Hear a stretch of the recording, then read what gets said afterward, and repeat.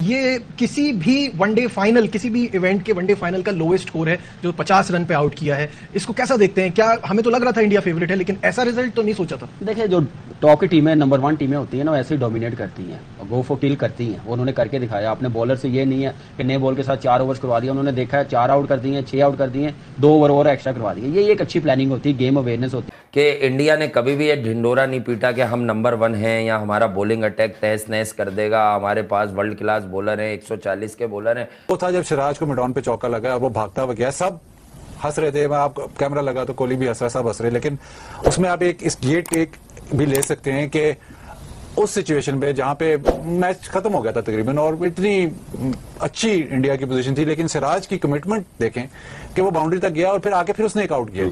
तो वो मतलब वो शो ये करता है कि सिराज हिमसेल्फ कितना हंगरी है? तो भाई ने क्या आउटस्टैंडिंग स्पेल दोनों तरफ़ से हुए हैं कि मज़ा आ रहा था। ऐसा लग रहा था कि टेस्ट मैच की बॉलिंग हो रही है इंग्लिश कंडीशन में बॉलिंग हो रही है। तो ऑनेस्टली स्पीकिंग मैंने दोनों फास्ट बॉलर्स की बॉलिंग को बहुत ज़बरदस्त इंजॉय किया इसलिए इंजॉय किया कि उन्होंने कोई चला किया कोई तीसरा प्लान दूसरा प्लान नहीं किया। उन्होंने आके अच्छे एरिया पे नए बॉल को इस्तेमाल किया है और उसका रिज़ल्ट आपके सामने many other countries because India has announced his arrival into the World Cup because कि ये जो विन थी ये जिस तरह इन्होंने मारा है श्रीलंका को जिस तरह इनकी बॉलिंग यूनिट ने परफॉर्म किया है। तो सारे खाने टिक हो जाते हैं इसमें क्योंकि मुझे लगता है कि बॉलिंग अटैक पूरा है स्पिनिंग अटैक पूरा है। स्पिन अटैक में देखें फॉरन इन्होंने वॉशिंगटन सुंदर को ले आए अक्षर पटेल की जगह। तो कप्तानी रोहित शर्मा की इंप्रूव हुई, डेढ़ दो साल से घुमा हुआ रोहित शर्मा अभी प्रेजेंट है। हमें आपके लिए बिल्कुल देखें, पाकिस्तान यहाँ लम्हा फिक्रिया ये नहीं है कि इनके साथ क्या हुआ। लम्हा फिक्रिया ये है कि इस बैटिंग लाइन को वो कहर बन के जिसपे टूटे, उसके खिलाफ आपकी बॉलिंग लाइनअप ने क्या किया? अगर आप कहते हैं कि हमारे दो बॉलर नहीं थे तो मैं कहता हूँ कि उनके पास भी कोई बहुत आउटस्टैंडिंग बॉलिंग नहीं थी बस सही है अच्छी बॉलिंग तो चार मेन बॉलर इवेंट में ही नहीं थे। पाकिस्तान की बॉलिंग जो है आप उसका मुकाबला करें तो फिर उन्होंने दो सौ बावन रन चेस कर लिए जहाँ पे सारी बातें करते हैं कि इस ग्राउंड का अगर मैं गलत नहीं हूँ एवरेज स्कोर दो सौ छब्बीस था ना? वो तो दो सौ बावन बना के चले गए तो लम्हा फिक्रिया ये नहीं है कि इनके साथ क्या हुआ। ये हुआ कि जिस टीम को उन्होंने हवा में उड़ा के रख दिया उस टीम ने हमें इवेंट से बाहर कर दिया। लेकिन यूनिस पे यूनिस पे आते हैं। यूनिस ये ये एक क्वेश्चन है जो सबके जहन में है कि हमारी इतनी बुरी परफॉर्मेंस थी। That's why everybody except for Shoaib Jatt सब यही कह रहे थे इंडिया पाकिस्तान फाइनल होगा। सही है? और इतनी हमने खराब क्रिकेट खेली है कि श्रीलंका हमारी जगह फाइनल में है और ये वन साइडेड मैच नज़र आ रहा है। बिल्कुल आप देखें कोई वर्ड्स दिए हैं डिस्क्राइब के लिए कि हम किससे इसको डिस्क्राइब करें किस तरह बैक करें। देखिए जो हम एक बात कर रहे थे जो सोच है ये आपको चेंज करनी है। हम्म। ठीक है आपकी स्किल्स तो वही हैं। अगर मैं इंडियन बैटर्स की बात करूँ या इंडियन सपोर्टिंग स्टाफ की बात करूँ राहुल ड्राविड की बात करूँ और भी ऐसे उनके पास सपोर्टिंग स्टाफ है जो उनका अपना है तो ये तो आज से ऐसा नहीं है। ये तो ज़ाहिर सी बात है कि इनके खिलाफ भी हमने क्रिकेट खेली इनके साथ भी क्रिकेट खेली जाके आईपीएल में खेली।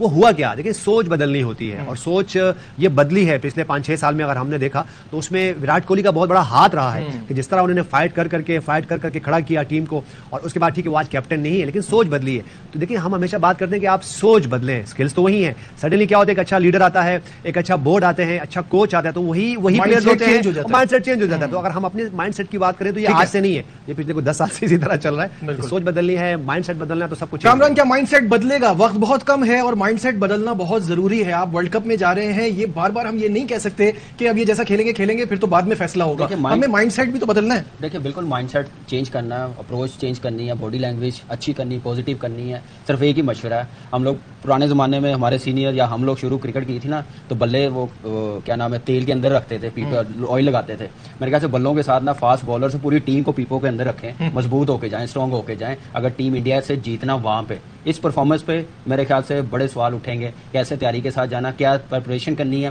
किस माइंड सेट के साथ जाना और बॉडी लैंग्वेज क्या होनी चाहिए तो उसके लिए फिर आपको इनसे अच्छा करना पड़ेगा फिर जाके काम होगा बिल्कुल शायद हेलो नमस्कार दोस्तों, स्वागत है आपका मेरे यूट्यूब चैनल पर। दोस्तों, जिस तरह से भारत ने श्रीलंका को हराया, उसको देख के लग रहा था कि भारत और श्रीलंका का कहीं मैच ही नहीं है कोई। इस पूरे एशिया कप में भारत ने बढ़िया प्रदर्शन किया एक बांग्लादेश के जो मैच हुआ, उसको छोड़ दिया जाए तो चाहे वो पाकिस्तान वाला मैच ले ले, चाहे श्रीलंका का मैच ले ले, सभी मैचों में भारत ने बढ़िया प्रदर्शन किया।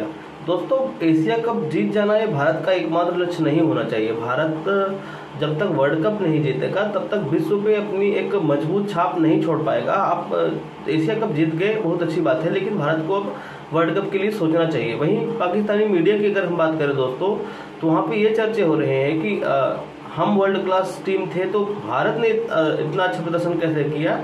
पाकिस्तान में पीछे क्यों रह गई?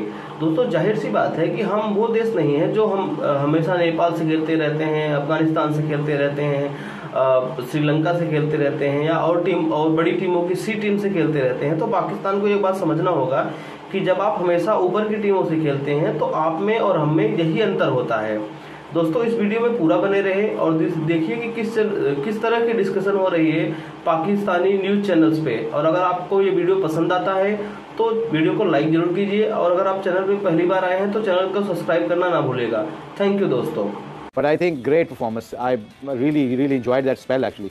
एक ही दफ़ा जब छह विकेटें लिए उसने एक दफ़ा कोशिश नहीं की मैजिक बॉल किया जाए Yeah. He just continue that six over six over seven over spell he bowled Siraj ने जो बॉलिंग की है और उसके बाद आके पांड्या ने जो बॉलिंग की है उन्होंने लाइन एंड लेंथ को चेंज नहीं किया। ये सबसे बड़ी क्वालिटी होती है। उन्होंने पिच को इस्तेमाल किया है उन्होंने बिल्कुल चांस नहीं लिया कि मैं कोई हवा में जाके कोई यॉर्कर मार के मिनिस्टर में उड़ा दूँ टांग से स्विंग कर दूँ या मैं ऑफ़ टर्म से बाहर कोई लंबा अंदर लेके आऊँ। उन्होंने सिक्स टू सेवन यार्ड्स अभी वो दिखा रहे थे कैमरामैन Yes. तो six to seven to four yards के दरमियान में उन्होंने इस एरिया में बॉलिंग की है और चैलेंज किया है उनके श्रीलंकन बैट्समैनों की टेक्निक को जो बहुत बुरी तरह एक्सपोज हुए हैं इस पर और ये सब प्रेशर के गेम होता है जैसे you know like under pressure आपको। जब आप छोटा फाइनल खेलते खेलते खेलते छोटे मैचों से फाइनल पे आते हैं ना हाँ। तो एक्सपेक्टेशन एकदम जीतने के चक्कर में पड़ जाती है। वो प्रोसेस से निकल जाते हैं जो आपको फाइनल तक लेके आता है। तो आई थिंक मैंने पहले भी शो के दरमियान में कहा था कि इस मौके के ऊपर मैनेजमेंट का बहुत बड़ा तगड़ा रोल हो जाता है। वो क्या करते हैं वो उनको बताते हैं कि देखो यहाँ तक जो चीज़ हमें लेके आई है वो सिंपल चीज़ें हैं। Yes. बैट्समैन को कहते हैं बॉल एट अ टाइम आपने खेलना है बॉलर को नहीं खेलना। आप इंडिया खिलाफ नहीं खेल रहे आप अपनी स्ट्रेंथ को याद रखें आप अपने प्रोसेस को याद रखें। तो ये चीज़ें बार बार फाइनल से पहले याद करानी पड़ती हैं इंडिविजुअल से बात करनी पड़ती है ताकि एक्साइटमेंट में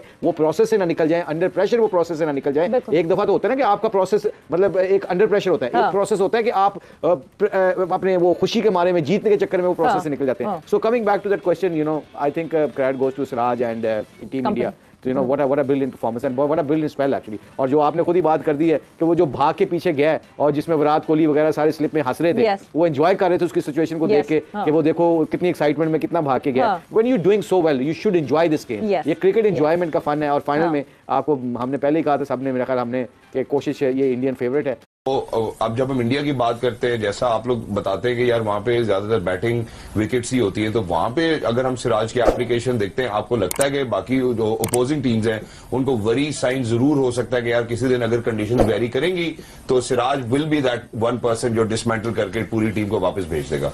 बिल्कुल आई थिंक इंडिया इतना बड़ा मुल्क है, अगर वहाँ पे कुछ सिलेक्ट होके चौदह पंद्रह में आता है तो उसके पास वो कैपेबिलिटी है कि वो किसी भी मैच में परफॉर्म कर सकता है। और जितनी भी आप बड़ी टीम्स के स्क्वाड्स देख लें चाहे वो इंडिया हो इंग्लैंड हो ऑस्ट्रेलिया हो आज इंग्लैंड ने भी अपना स्क्वाड अनाउंस कर दिया। वहाँ पे जो बेंच स्ट्रेंथ पे जितने बॉलर्स हैं वो एट पार ही ऑलमोस्ट आपको नज़र आते हैं। और, और उनके कॉम्बिनेशन बहुत ज़्यादा इफ़ेक्ट नहीं होता। अभी इस लाइनअप में मोहम्मद शामी बाहर बैठे हुए हैं।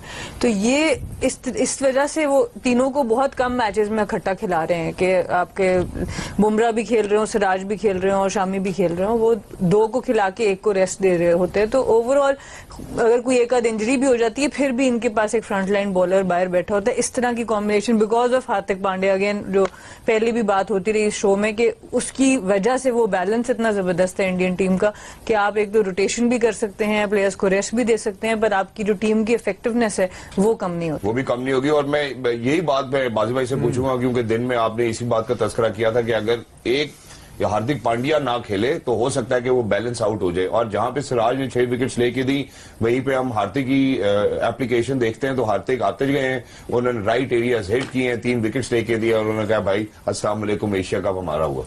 हाँ देखिए ऑलराउंडर जो कि 140 पे कर सके और मतलब एक किस्म की बॉलिंग नहीं वो दो तीन किस्म की बॉलिंग कर सकता है। राशिद भाई ने कल या आज सुबह मेंशन किया एशिया कप का जो पहला मैच था पिछली दफ़ा पाकिस्तान को टी ट्वेंटी था पाकिस्तान को बाउंसर्स पे आउट किया और सबसे तेज बाउंसर यही कर रहा था हार्दिक पांड्या। तो उसकी बॉलिंग जब जब है इंडिया की टीम के साथ तो उनका उनको मसला नहीं है। जब उसकी बॉलिंग जाती है तो फिर वो सोचना शुरू हो जाता है कि आया, किसको खिलाएँ?